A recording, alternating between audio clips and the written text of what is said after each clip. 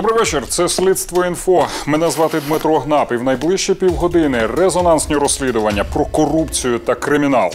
Наша програма цікавіша ніж кіно, бо тут все насправді. А в цьому випуску про таке. Битва олігархів на виборах в Павлограді схрестили мечі Ахметов та Коломойський.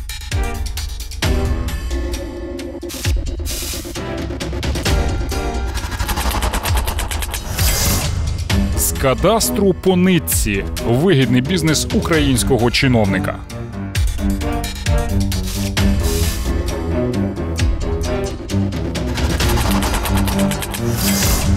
Тепле місце. Хочеш швидко розбагатіти? Йди працювати в прокуратуру.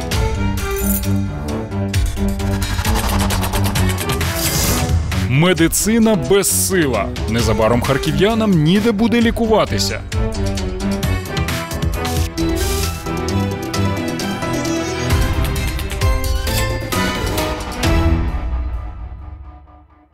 Місто Павлоград Дніпропетровської області стало справжнім полем битви на місцевих виборах. Спочатку центр виборчком скасував там другий тур.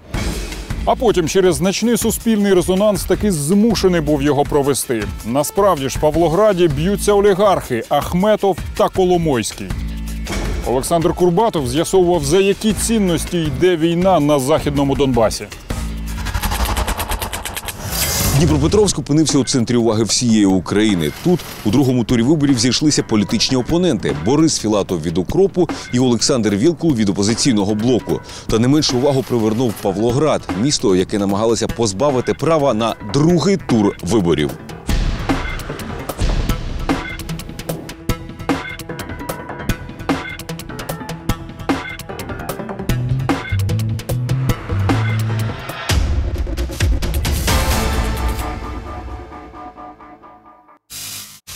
Насправді скандалів із виборами у Павлограді не передбачалося. Попри десяток претендентів, найімовірнішим сценарієм другого туру виглядав двобій діючого міського голови Івана Метелиці і його першого заступника Анатолія Вершини. Але волевиявлення павлоградців підкинуло неабиякий сюрприз. Переможцем першого туру виборів прогнозовано став представник опозиційного блоку Анатолій Вершина. Ось друге місце здивувало усіх. Його зайняв місцевий шахтар Євген Терехов, якого вся Україна знає як героя АТО Титанового Джексона. Євген Терехов, кандидат від укропу, майже не вів передвиборчої кампанії, але отримав 18% голосів. Відставання від Анатолія Вершини на 17% колосальне лише на перший погляд. Якщо скласти показники прихильників патріотичного вибору, запас для росту Терехова перевищує 30%. Утім, в укропі не встигли відсвяткувати досягнення. 26 жовтня, як грім серед ясного неба, новина. Другого туру взагалі не буде. в нас другого туру не буде. Мені посадила ЦВК, попередила про те, що нас знімають з категорії міст, де більше ніж 90 тисяч населення. Вони сказали це для того, щоб ми відтворили результати і планували повторні вибори. Воспринималось это так, что э, когда кто-то увидел, что во второй тур выходит не тот кандидат, было реш- принято решение сманипулировать численностью количества избирателей. 3000 избирателей мгновенно исчезли из э, реестра. Віктор Абрамас саме той, хто записав на телефон оголошення про один тур. Але коли оприлюднив інформацію, у ТВК його оголосили брехуном. Когда мне сказали, что меня там не было, я там зарегистрировался, находился вполне официально, м, меня это поразило. Лише втручання інших спостерігачів не дозволило одразу ж ухвалити рішення про обрання міського голови, представника опозиційного блоку. Буквально вночі вони тримали цю комісію і тягнули, і вони хотіли цієї ночі е, проголосувати рішення за те, щоб визнати вершину мером. Це мало бути ночі. Ми, ми зірвали це засідання. Стал весь город. Все, все поднялись и вышли под исполком. Коли люди вийшли на акцію протесту, їм повідомили, чому виборців позбавляють права на вибір. У нас було 89 тисяч 959 чоловік. У Павлограді офіційно зареєстровано 92 тисячі 800 виборців. Це означає, що міського голову обирають у два тури. Та раптом у день виборів кудись зникли 2800 виборців. Про дива передвиборчої математики знають тут, у місцевому виконкомі. ТВК на третьому поверсі, а відділ державного реєстру виборців, де не дорахувалося людей, на першому. Там кажуть, сам закон про вибори дає можливість для маніпуляцій. По этому э, новому закону э, участие в местных выборах принимают только члены э, э, нашей громады, пов- э, городской громады. А у нас есть колония и есть воинская часть. Та навіть якщо викинути із списків цих людей і тих, хто живе без прописки, все одно 90 тисяч 208 виборців. У відділі реєстру виборців запевняють, ще 300 осіб до виборів або виписалися, або померли, або просто загубилися. И вот если мы у- вычтем с этой 90 тысяч 208, этих 356, у нас и получится 889 тысяч 900. Это уже только на момент прямо уже выборов. Та навіть нестача сотні виборців у день виборів не могла вплинути на їхній хід. 1 вересня в офіційному виданні «Голос України» зафіксована кінцева кількість людей з правом голосу. Це 90 тисяч 295 осіб. Це врешті визнали і у місцевій ТВК. В законі ніде не вписано, що ми повинні, коли встановлюємо результати, брати кількість виборців, які є на день голосування. Після хвилі обурення у ТВК проголосували за другий тур. І саме тоді стало зрозуміло, на якому рівні реально вирішувалася доля голосів павлоградців. Справу розглядали у Вищому адміністративному суді України. Саме там відстоювала заборону сама Центральна виборча комісія. Коли судді ухвалили апеляційну скаргу центральної комісії залишити без задоволення. Заради кого ЦВК хотіла порушити закон? Невже заради кандидата від опозиційного блоку Анатолія Вершини? Дорогие павлоградцы, примите искренние и сердечные поздравления с Днем города. Эту дату мы встречаем с гордостью за наш Павлоград и его славную историю. Попри прізвище, вершину кандидата від опозиційного блоку частіше порівнюють із айсбергом. Надто багато приховано від сторонніх очей. Це помітили ще кілька років тому. При мне он э, пришел на работу, и я сразу обратил внимание, что он начал приезжать на работу на новом белом Lexus джипе. Ну, для нас это было очень необычно. Валерій Тудвасов лише кілька місяців тому демобілізувався після року служби в АТО. А до війни працював у Павлоградському виконкомі. Каже, колишній начальник міської міліції Вершина обожнює дорогі автівки. С 11 по 13 год был Lexus. Это можно было купить на деньги, которые он зарабатывал. И такие большие деньги были и в милиции, и в исполкоме. В 13 году он за свою скромную зарплату выкупляет два Мерседеса, один э, 350 и второй 500. Анатолій в минулому теж міліціонер. З початку війни волонтер. Допомагав 25-й 93-й бригадам. Потрапив в полон. Провів два місяці у підвалі Донецького СБУ. Він пов'язує кандидата від опозиційного блоку із корупційним скандалом, що спалахнув у Павлограді якраз між першим і другим турами виборів. було виявлено злочинно організовану групу, яка вимагала неправомірну вигоду з громадян міста Павлоград за е, надання місць на цвинтарах міста. Е, В даній групі задокументована е, участь понад шести осіб з повним розподіленням ролей. Злочинне угрупування було створено на базі комунального підприємства Ритуал. Рішенням виконкому воно з жовтня 2014-го прямо підпорядковувалось саме Анатолію Вершині. Правоохоронці задокументували кількадесят злочинів комунальних рекетирів. Сума хабара складала від 4 до 5 тисяч гривень. Загальний прибуток від даної злочинної схеми приносив від 400 до 500 тисяч гривень на місяць. Крім того, злочинне груповання здійснювало розкрадання вугільної продукції з породних відвалів павлоградських шахт. Діяльність угруповання із Анатолієм Вершиною пов'язує ухвала Бабушкінського суду міста Дніпропетровськ.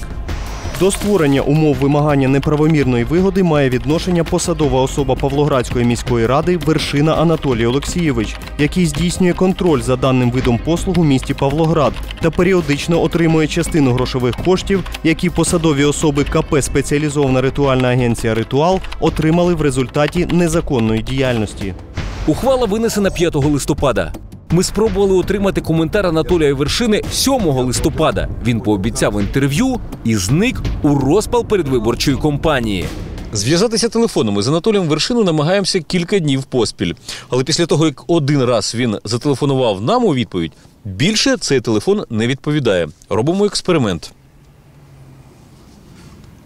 На даний момент абонент не може прийняти ваш дзвінок. Надішліть смс-повідомлення або зателефонуйте, будь ласка, пізніше. Тим часом конкурент Вершини Євген Терехов опинився у епіцентрі скандалу і знову з дорогим авто. Герой АТО і простий шахтар потрапив у ДТП на Порше Каєн. Титанового Джексона ми знайшли у лікарні. Він каже, машина не його. У меня буквально недавно сломалась мой автомобиль, уже ближе к вечеру. Я приехал, я искал автомобиль, чтобы поехать как раз на суды к Геннадию Олеговичу. Вот. И получилось так, что человек без вопросов, без проблем сказал, на, держи. Власниця автівки каже, що підтримує укроп, тому й дала автівку, щоб юристи затриманого нещодавно лідера партії Геннадія Корбана могли пересуватися за своїм підопічним разом із Тереховим. Вона упевнена, що павлоградська міліція перетворила ДТП на чорний піар. Техпаспорт э, непосредственно находились в руках то- следователя и начальника милиции. Оперативную съемку проводил лично начальник милиции. Поэтому только эти два человека могли э, дать информацию в интернет. А, В силу этого мы планируем подавать иск в суд по поводу разглашения конфиденциальной информации. И тем более эта информация использовалась для черного пиара. Титановий Джексон упевнений, що витік інформації стався саме через його зв'язок із опальним лідером укропу. Надто висока ціна перемоги на виборах у Павлограді. Звісно, змагаються не лише посадовець вершина і Шахтар Терехов, не лише опозиційний блок і укроп, але й ті, хто засіяв цей укроп і тримає його за коріння, і ті, хто перетворив колишню партію регіонів на опозиційний блок. Протистояння у Павлограді дуже нагадує протистояння у Дніпропетровську, де у битві за обласний центр і, зрештою, за контроль над регіоном зійшовся укроп Ігоря Коломойського і опозиційний блок Ахметова. Відмінність лише у тому, що Анатолій Вершина не з партії регіонів.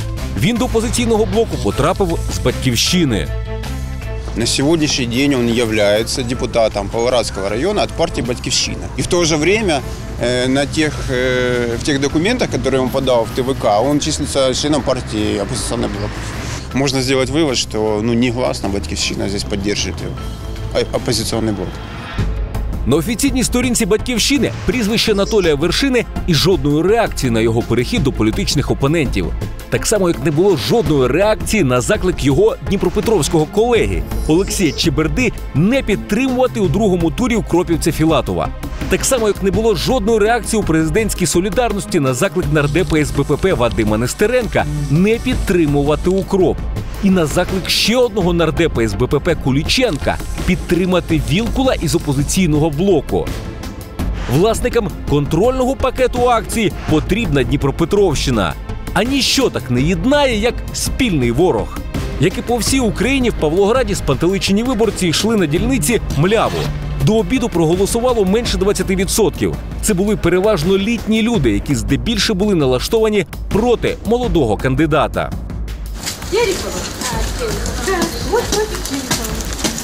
Титановий Джексон не зміг мобілізувати своїх виборців і програв. Він набрав 40% голосів проти 60% свого опонента із опозиційного блоку.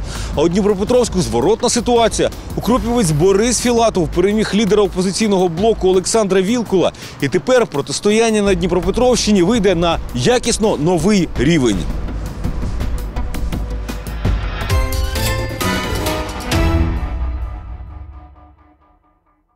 Наша наступна історія про людину, яка страшенно любить українську землю. Ні, він не письменник і не хлібороб. Це впливовий чиновник, який створив оригінальну корупційну схему. Він має свою частку з оплати кожного документу земельного кадастру. Що більше операцій з землею, то більше в нього грошей. Колоритна історія, яка цілком могла потрапити в українську літературу, але яка чомусь зовсім не цікавить правоохоронні органи.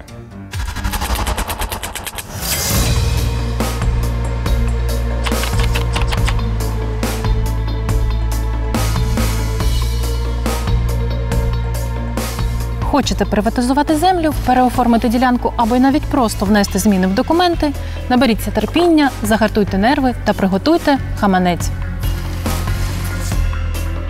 Відкривати свої карти за просто так київські земельні чиновники, схоже, не готові.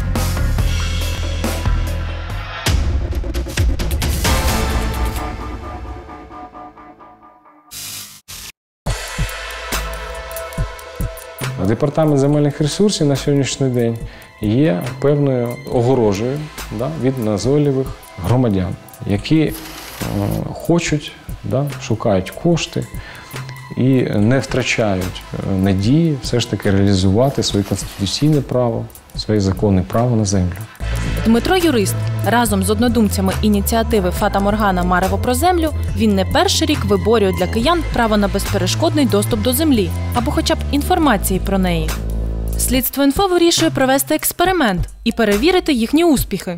Навідуємося до департаменту земельних ресурсів, нібито для того, щоб оформити ділянку. У першому ж кабінеті нам пропонують бланк заяви. Разом з ним фактичну інструкцію про документи, які необхідно зібрати. Першим пунктом йдуть графічні матеріали, тобто два витяги з кадастрів міського земельного та містобудівного. Перший витяг треба замовляти, як то кажуть, не відходячи від каси, поверхом вище. Тут розташувалося підпорядковане департаменту земельних ресурсів комунальне підприємство Київський інститут земельних відносин. Оголошення перед дверима кабінету попереджає. Послуги платні. Наприклад, виготовлення кадастрового плану для фізичних чи юридичних осіб на ділянку площею до 4 гектарів коштує 558 гривень. Для власників землі п'ятеро дешевше.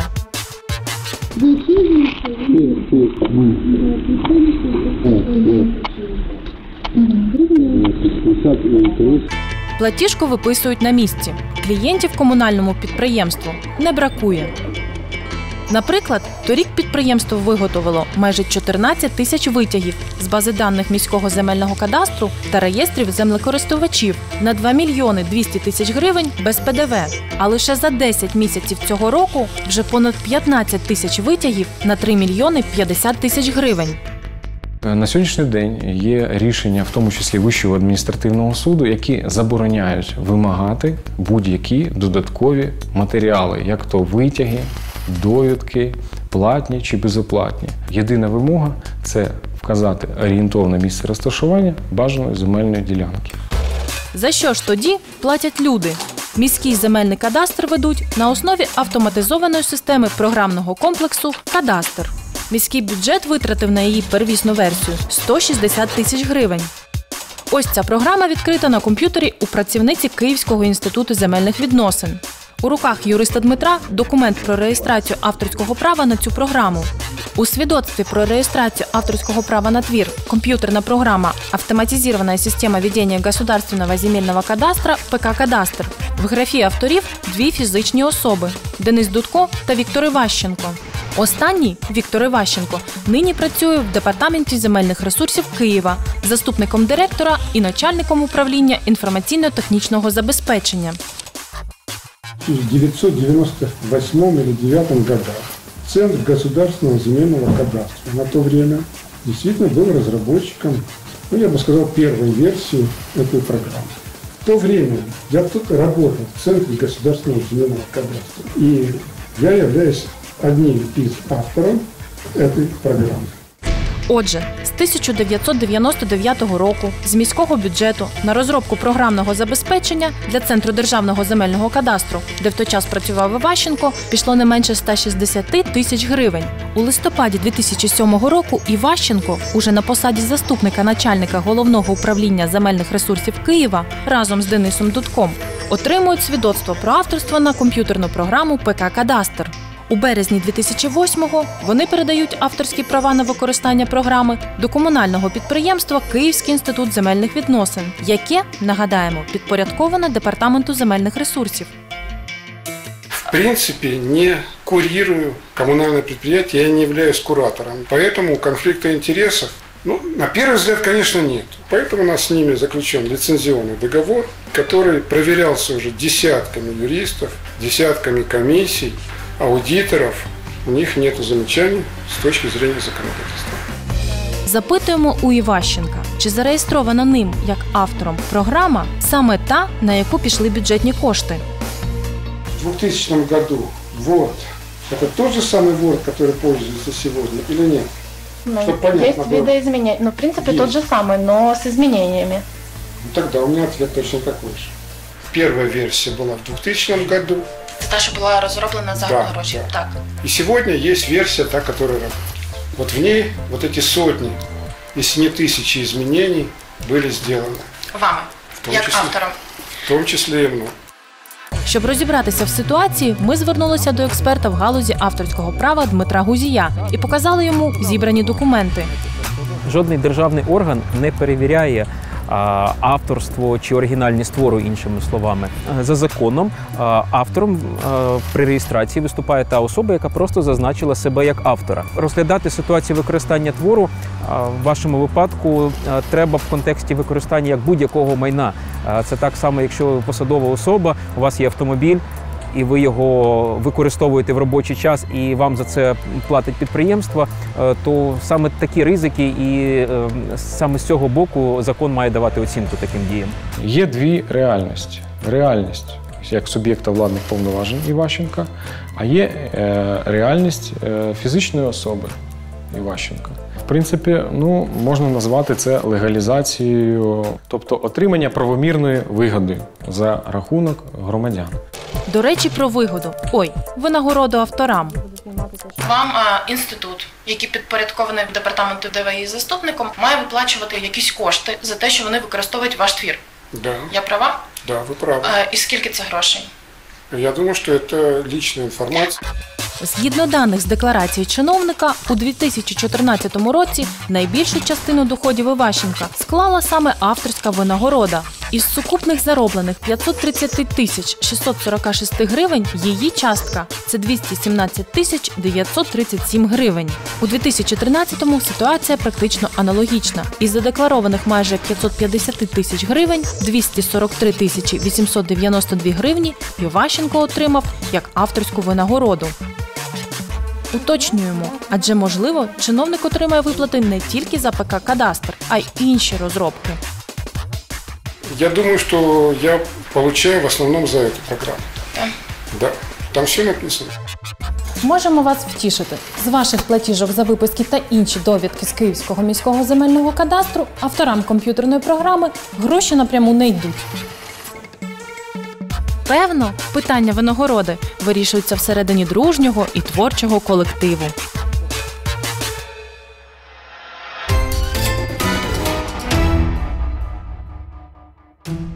Слідство інфо вже розповідало про прокурорське угрупування Лисі птахи. Це чотири київські прокурори: Лисенко, Дрозд, Соловей та їхній колега Артем Тендітний. Вони засвітилися під час скандальної переписки в суді, де обговорювали розправу над підсудним через розбійний напад. Давай у нас в районі у нього телефон от розбоят. Це пряма цитата з прокурорського листування. Лисих птахів, зрештою, звільнили з прокуратури, але тепер вони намагаються відновитися на посадах через суд. Чим же їх так вабить робота правоохоронця? Навряд чи низькими зарплатами. Наприклад, як з'ясувало слідство інфо, Артем Тендітний всього за кілька років роботи в прокуратурі став власником недешевої нерухомості. Так, згідно з даними державного реєстру, тендітному належать майже 2 гектари землі поруч з селом Іванків під Києвом. А ще він є власником квартири в престижній київській новобудові на вулиці Гетьмана 1А. В реєстрі не вказана площа квартири тендітного, але в агентствах нерухомості кажуть, що вартість помешкань в цих будинках стартує від 100 тисяч доларів. Квартиру тендітний отримав наказом управління житлового забезпечення. Очевидно, держава вирішила винагородити молодого прокурора за сумлінну та невтомну працю. Ми знайшли персональну сторінку Артема Тендітного на одному з автомобільних сайтів. Там він щиро розповідає, як буквально убивався на роботі. Прокурору не давали спокою автомобілі. В общем, к Хонде я не подошел, а друг мой пошел посмотреть ее, так как она ему очень нравится. Пришел, сказал, что у нее пробег 8 тысяч. Придя на работу, я стал думать о ней и в итоге поехал и в 9 вечера забрал ее. Мне нужна была она прямо сейчас и не минутой позже. Хорошо, что мне пошли навстречу, и я поехал праздновать. Слідство інфо розшукало телефон Артема Тендітного, щоб поставити йому кілька запитань про його майно. Алло. Алло, Артем. А. добрый вечер. Добрый. Это Дмитрий Гнап, журналист Следствия инфо, громадское телебачение. Вопрос к вам есть по поводу вашей недвижимости. Після цього пан тендітний більше слухавку не піднімав. Напевно, знову замріявся, щоб ще купити на чесно зароблену прокурорську зарплату.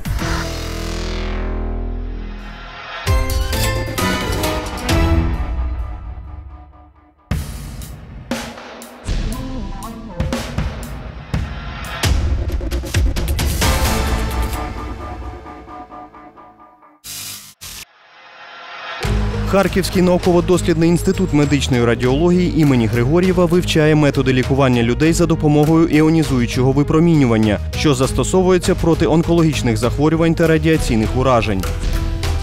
Інститут багато співпрацює з іноземними науковими закладами та міжнародними організаціями МАГАТЕ, ВОЗ.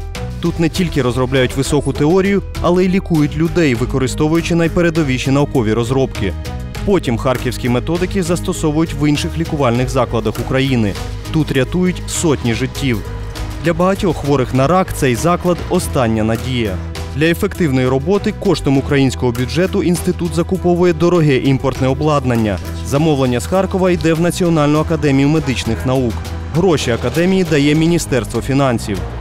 Наприклад, у 2013-му інституту мали виділити 75 мільйонів гривень. Під ці гроші тут почали замовляти і отримувати нове обладнання. Це цифровий рентгенівський апарат на три робочих місця, зарубіжне виробництво, італіянське виробництво. Дуже дорогий прилад, який ми, не дивлячись на те, що ми не проплатили, ну, ми частково проплатили його вартість, ми його запустили і успішно на ньому обс- обстежуємо онкологічних хворих. І слава Богу, ми отримали надсучасну техніку, одну з кращих в Україні. І тепер ми маємо можливість обстежувати і навіть лікувати, робити ендоскопічне оперативне втручання, ну і так далі. Але гроші поки що не заплатили. Гроші не заплатили ні копійки, ще близько 9 мільйонів гривень. За це обладнання інститут і досі не розрахувався, бо з обіцяних 75 мільйонів отримав лише чверть суми. Фірми подають на нас в суд, Вже не а- заберемо. заарештовують Маємо. рахунки, але Маємо те, що маємо. маємо те, що маємо. Ну, хоч маємо. Я прекрасно понимаю, что есть сотрудники института, которые получают зарплаты и все остальное. И поэтому хотелось бы как-то по-человечески, чтобы не блокировали счета, чтобы люди получали свою зарплату, спасали жизни, несмотря на сложившуюся ситуацию. Фірми-постачальники вже повигравали суди і тепер чекають, коли казначейство нарешті поверне гроші. Тільки суми вже далеко не ті. Обладнання імпортне, контракти були в гривні, а курс долара та євро відтоді зріс втричі. Подали в суд. Суд выиграли всех инстанций, как положено. Решение суда было передано в э, исполнительную службу и в казначейство. Ну, передано и передано. Должно казначейство заплатить. Не заплатило. Очень обидно, когда поставишь оборудование, а потом не- непонятно, когда ты получишь деньги. Получишь первый счет. Та це не єдина біда.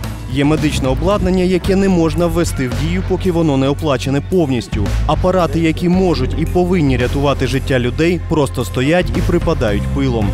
І частину цих грошей ми е, спланували направити на покращення е, матеріально-технічної бази цього відділення і вирішили придбати апарат для е, внутріпорожнинної гамма-терапії. Це апарат е, німецького виробництва. Він коштує десь близько 4 4,5 мільйони гривень. Апарат фірма-постачальник привезла ще рік тому, але відмовляється обслуговувати його без проплати. Як наслідок, там не встановили ключовий елемент джерело іонізуючого випромінювання. Без нього це купа брухту. Листи з інституту в медичну академію нічого не дають. Національна академія каже, що гроші заклали в державний бюджет ще у 2013-му, але з держказначейства до інституту радіології вони так і не дійшли. Фінансування було відкрито інституту в повному обсязі по мірі надходження фінансування із державного бюджету. Законами України про державний бюджет України на 2014 рік зі змінами та про державний бюджет на 2015 рік зі змінами Національній академії медичних наук не передбачено капітальні видатки. Ситуацію ускладнює ще й те, що одну з фірм-постачальників ТОВ ТОП Сервіс Медтехніка пов'язують із головою комітету Верховної Ради з питань охорони здоров'я Тетяною Бахтєєвою, про що писали журналісти видання Наші гроші. За старої влади ця фірма вигравала мало не всі тендери, в яких брала участь. Ситуація складається патова. На папері бюджетні гроші в Києві є. До Харківського інституту медичної радіології вони не доходять. Фірми-постачальники не можуть отримати своїх проплат.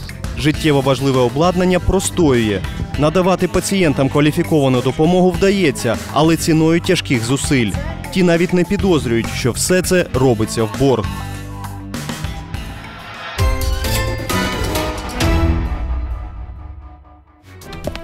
Ви дивились слідство інфо. Мене звати Дмитро Гнап. Вже за тиждень нові резонансні та цікаві розслідування на громадському та першому. Не перемикайтесь.